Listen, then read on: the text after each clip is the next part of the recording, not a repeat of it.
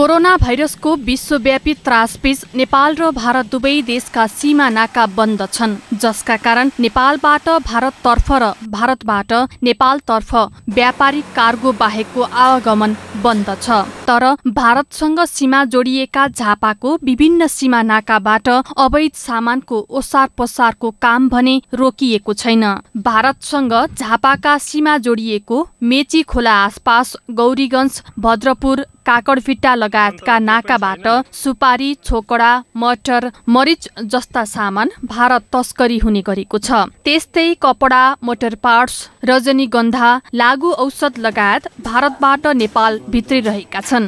गाडीहरू खुलिसके पछाडि जुन मेची किनारमा बस्ने केही मानिसहरूले सुपारीहरू लाने आफ्नो घरमा चाहिँ राख्ने र रातिको समयमा त्यसलाई पनि लगेर खोलामा चाहिँ लगेर छोडिदिने अनि उतापट्टिको मान्छे आएर चाहिँ लिएर जाने। यस्तो खालको प्रचलन छ र त्यसमै निगरानी बढाएकै कारणले गर्दा समय समयमा हामीले चाहिँ त्यस्ता कुराहरू बरामद गरेका छौँ। प्रतिबन्धित लागु औषधि सहित सुपारी मरिच छोकडा लगायतका सामग्री पक्राउ परे पनि तस्करीमा संलग्नलाई भने पक्राउ गर्न नसकिएको प्रहरीको भनाइ छ।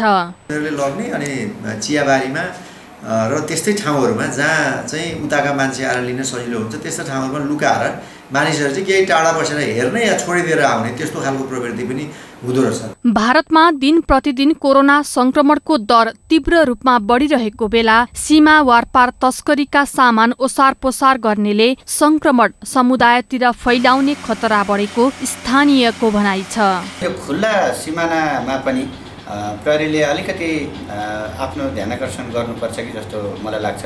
त्यहाँबाट चाहिँ नि भारतीय नागरिकहरू चाहिँ नेपाल प्रशस्त मात्रामा भित्रिएर समुदायमा चाहिँ नि यो कोरोना भाइरसको सङ्क्रमण अलिकति बढ्न सक्ने खतरा चाहिँ हामीले देखिरहेका छौँ। भारतसँगको मुख्य नाकामा सुरक्षाकर्मीले कडाई गरे पनि साना नाकाहरूबाट हुने आवजावतलाई बेवास्ता गर्दै आएका छन्।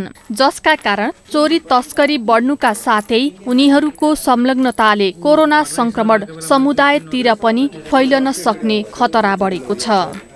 एभी न्युज खबरका लागि झापाबाट सन्तोष न्यौपानेको रिपोर्ट।